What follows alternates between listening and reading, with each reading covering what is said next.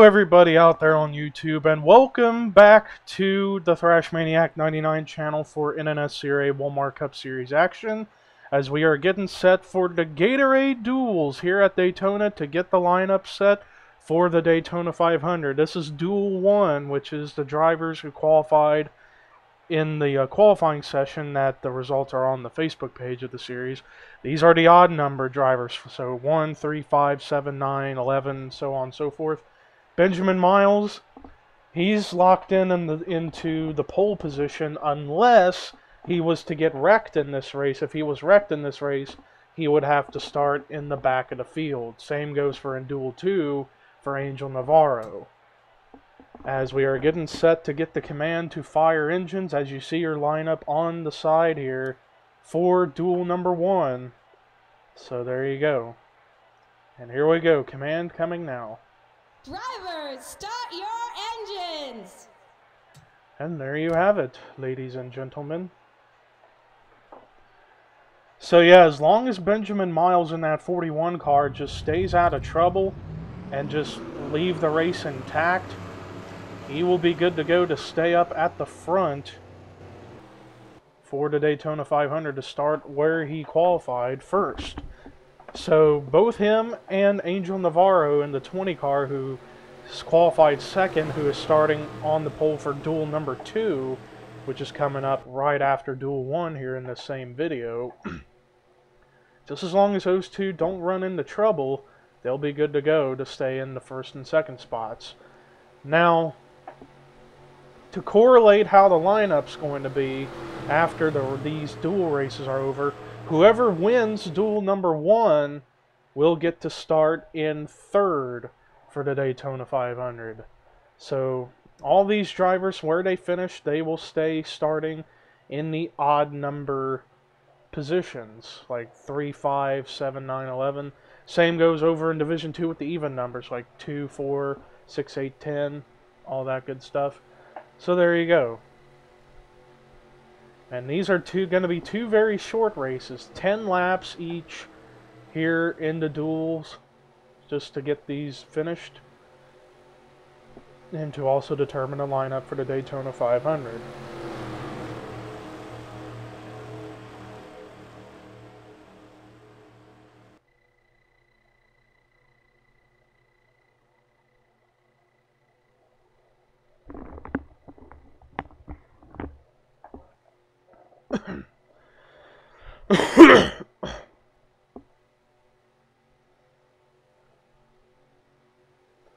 Pace car getting ready to pull into pit road. He is pulling in now.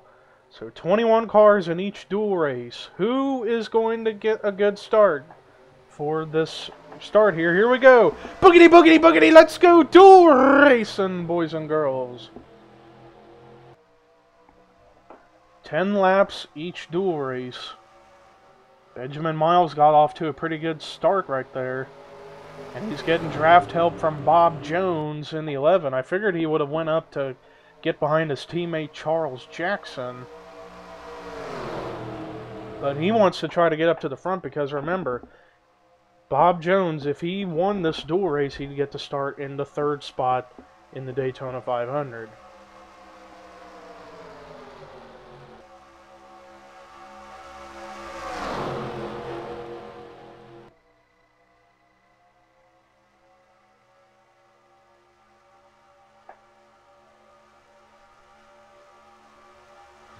And the leader for lap number one, Bob Jones by a bumper over Danny Wells. And now here comes Danny Wells down low with help from Anthony McCrory. Excuse me.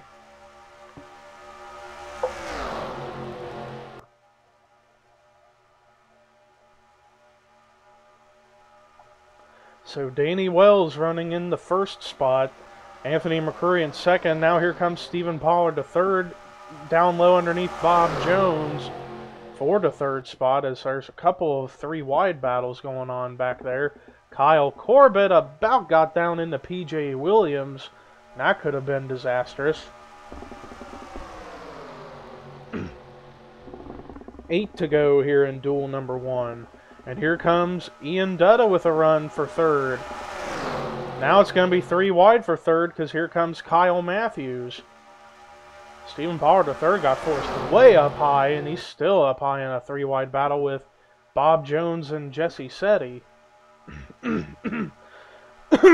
Excuse me.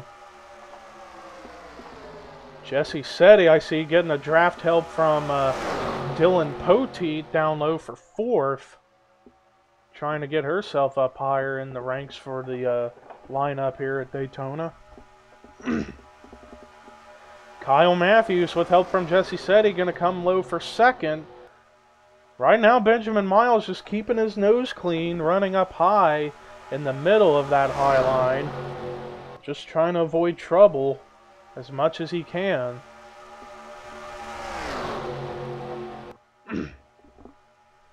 right now, Danny Wells up in the lead. Kyle Matthews running right behind him along with Jesse Setti, but now here comes Dylan Poteet underneath for fourth with help from PJ Williams. Battle for the lead. Here comes Kyle Matthews with a run to the inside. Quite a bit of shuffling going on right up there. Dylan Poteet coming underneath for the uh, third spot. He's got PJ Williams.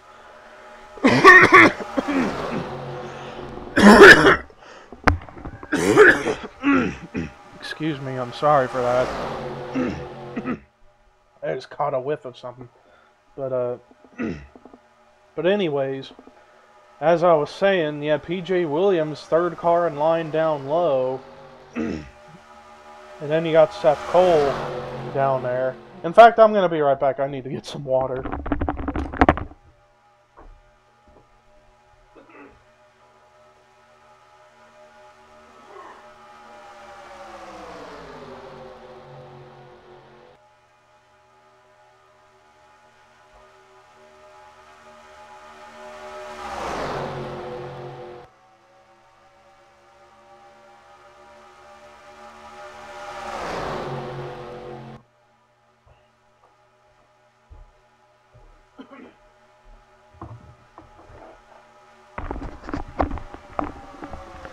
Alright, I am back, and when I came back one lap later, nothing's really changed up at the front, but, uh, of the other drivers I'm seeing trying to make strides up here. I see Dorian Facepuncher, Seth Cole, Austin LaPlante, Kyle Corbett, and others all running that low line trying to make something happen here with four laps to go. And I've noticed some, there are three out of the four Gibbs cars in duel number one. Bob Jones, rookie Tanner Sullivan, and Charles Jackson back there in that orange Eris car is starting to slip back quite a ways. Whoa, PJ Williams! PJ Williams went un below the yellow line. I'm not sure why, but he just split up the field quite a little bit. So that forces seven cars to pull away from everybody else. I have no idea what PJ Williams was thinking there. he went below the yellow line. He hit the apron. And then about collected Seth Cole. And that could have been a big wreck, big problem. But luckily PJ was able to keep it together. But still, what? That was weird. Danny Wells, however, still maintaining the top spot. Next time by will be two to go here in duel number one.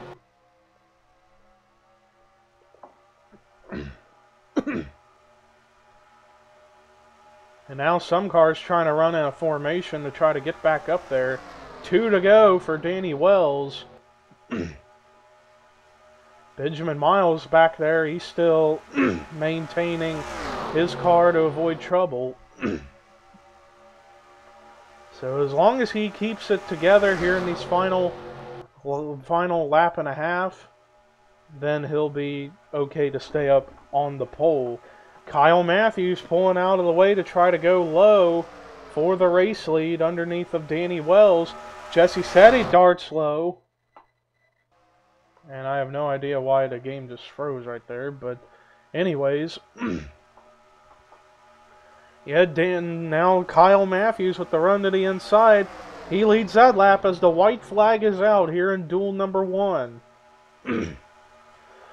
it's been back and forth between Danny Wells and Kyle Matthews throughout most of this duel. They've been very close to the line. I got a feeling we could see a photo finish here in this one. Nobody wrecked, although we nearly had a wreck with PJ Williams about losing it on the apron. Danny Wells seems to get a better draft up on the high line than Kyle Matthews does low, but will that come into play as we're coming off turn four for the last time? Who's going to win this race? Oh, it's going to be close, but Danny Wells gets it by a half a car length. Four one hundredths of a second. Danny Wells wins duel number one and is going to get to start third in the Daytona 500. what a finish that was. Back and forth between these two.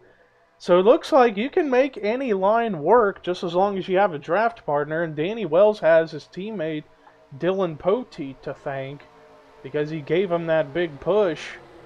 Jesse said he tried to help Kyle Matthews right there in the end, but I guess their draft just wasn't good enough because up high with the draft you can carry a little more speed than on the low line, so there you have it with that.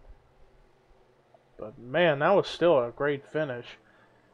But let's take a look at the rest of the results as Danny Wells is going to get to start third in the Daytona 500 by winning duel number one.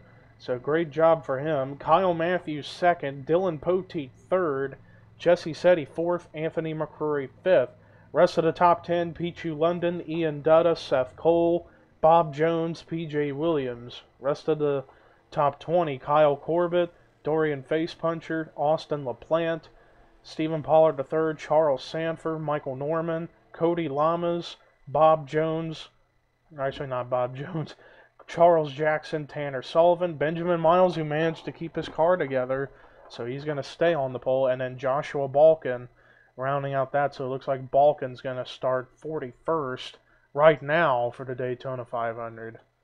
So there you have it with that. But anyways, thank you guys for checking out duel number one, but stay tuned in this video because duel number two is coming up next.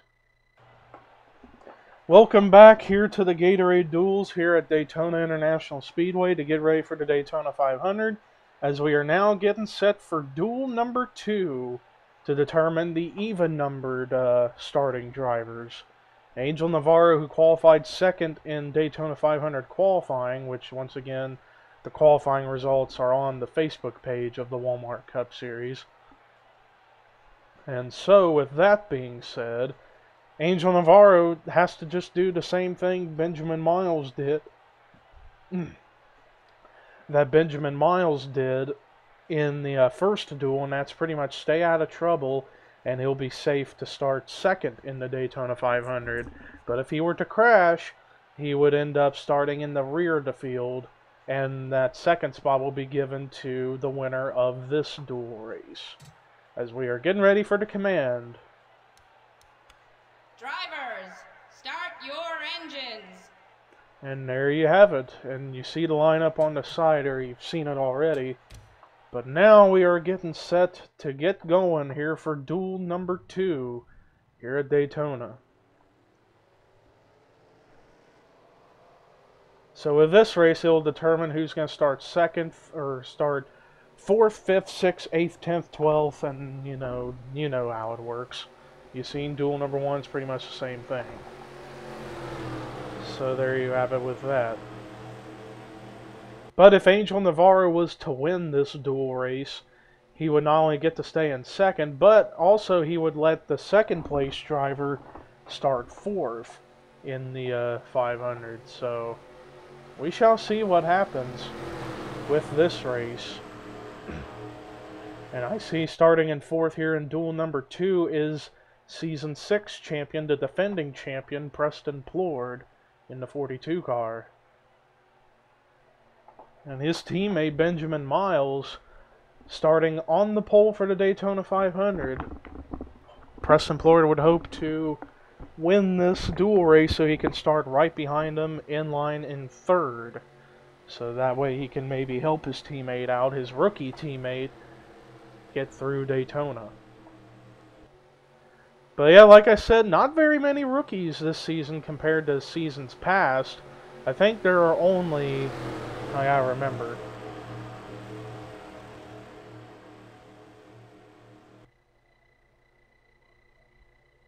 There are only five rookies in this season. Yeah, Benjamin Miles in the uh, 41, Jeffrey Rose, a newcomer to NR, in the 8 car, Kyle Corbett in the 56, Tanner Sullivan in the 18, and Jessica Villanueva in the 33. Pace car pulls into pit road. It's time to get duel number two going. And here we go. Boogity, boogity, boogity! Let's go duel racing again, boys and girls!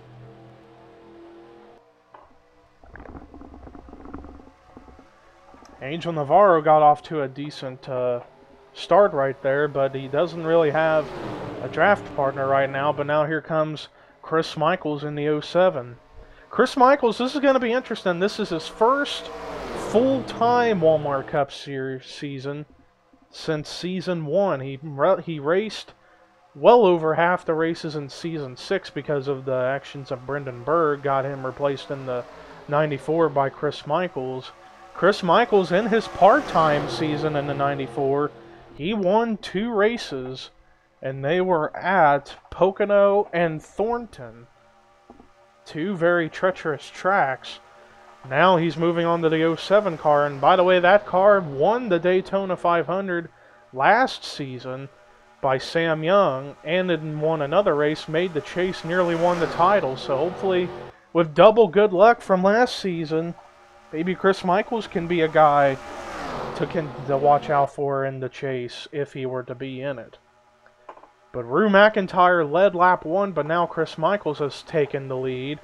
But now, big draft help, a huge run from Chris Washer and company with Joshua Collard, Jessica Villanueva, and Matt McIntyre.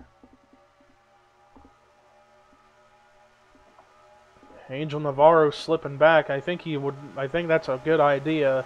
In case a wreck were to happen, he wouldn't get involved if he were to fall towards the very back of the pack. And also another thing I noticed the uh, Burger King Red Bull racing cars. One started in Duel 1, second one here in Duel 2. Stephen Pollard the third was in Duel number 1.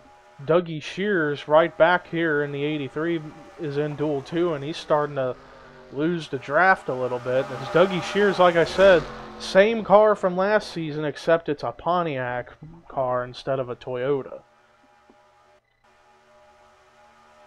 Back up at the front, Joshua Collard has now taken over the lead, sporting the STP car in tribute for a uh, for uh, the great Richard Petty. Now coming down low for the lead is rookie Jessica Villanueva, racing out of Richard Childress Racing in the 33 car. First time in a couple seasons, I remember, uh, that the 33 is in Walmart Cup action. This is a ride that always seems to go on and off from time to time depending on what I decide the cars are going to be. Cup, wow, three Tweenix teammates were working together on the low line. Matt McIntyre, James Silverfox, Alex Hawkins, still kind of in that same mold. But Matt McIntyre running in a very good tandem with Jessica Villanueva. Joshua Collard now split, just split up that Tweenix party and is now in third.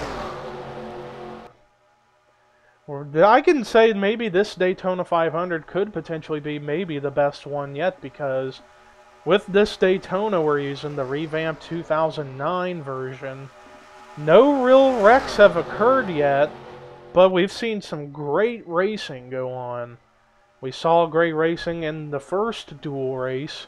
So far, it's been just more the same here in Duel 2. But Jessica Villanueva's just staying up at the front, though he's she's got Matt McIntyre right behind her to help her out. Two Bass Pro Shops cars, even though they're part of completely different teams, They're working together.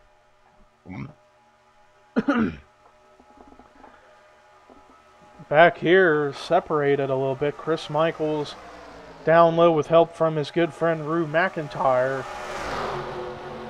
Down low in that mess. Chris Washer up high. Chris Washer up high, along with Joshua Collard. but the 28 and the 07 are starting to get up to that tandem of the 14 and the 33. Oh, Chris Michaels split that.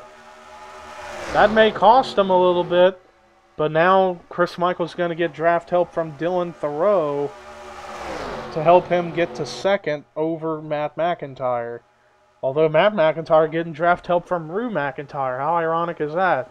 Even though they're not related, their last names are McIntyre, so there you go. Chris Michaels now gets to second thanks to help from Dylan Thoreau.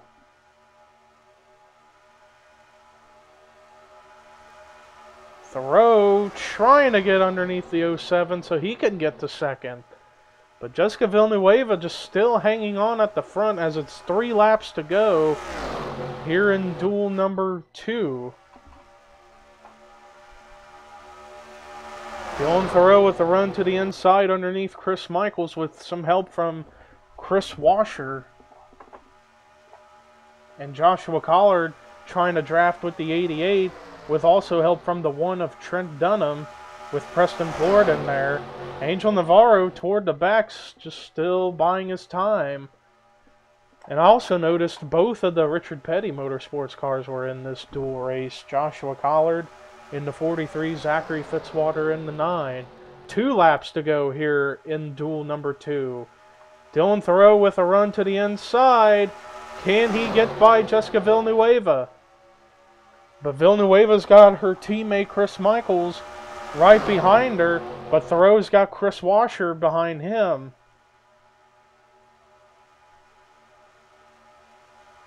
Two out of the three Penske cars were in this duel as well.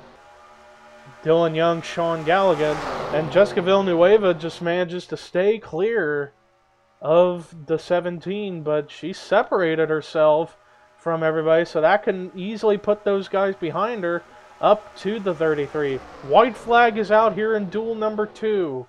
Last chance for guys like Dylan Thoreau or anybody behind the 33 of Villanueva to make a run for the lead. And now here comes Thoreau. Although Dylan Thoreau's draft partner, Chris Washer, sort of just not up there to him just yet.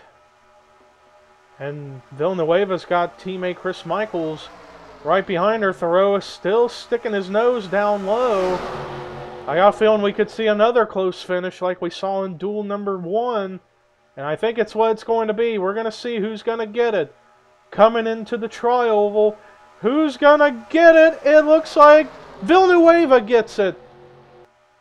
By two one hundredths of a second. Even closer than what we saw in duel number one. Jessica Villanueva wins duel number two here at Daytona and is going to get to start fourth in the Daytona 500. Another fantastic photo finish right there. Holy cow. I've got a feeling we could see something like this happen when we get to the Daytona 500 soon. That's going to be awesome. But anyways, let's take a look at the rest of the results. As Jessica Villanueva, rookie out of Richard Childress Racing, wins Gatorade Duel number 2 and is going to get to start in fourth for the Daytona 500. Dylan Thoreau second, third Chris Michaels, fourth Chris Washer, fifth Matt McIntyre. Rest of the top 10, Joshua Collard, Rue McIntyre, Trent Dunham, Alex Hawkins, Preston Plord. Rest of the top 20 James Silverfox, David Rivera, Zachary Fitzwater, Jessica Shelton, James McLeod, Sean Galligan, Jeffrey Rose, Chase Oliver, Angel Navarro, who's going to stay running, going to stay starting in second for the Daytona 500, Dylan Young, and then Dougie Shears. I guess he just lost a draft and he couldn't get going, so he's going to start dead last in the Daytona 500. But anyways, thank you guys for watching duel number two here at Daytona. Congrats to Jessica Villanueva, and she's going to get the start in fourth for the 500. But anyways, we'll see you at the Daytona 500 coming soon.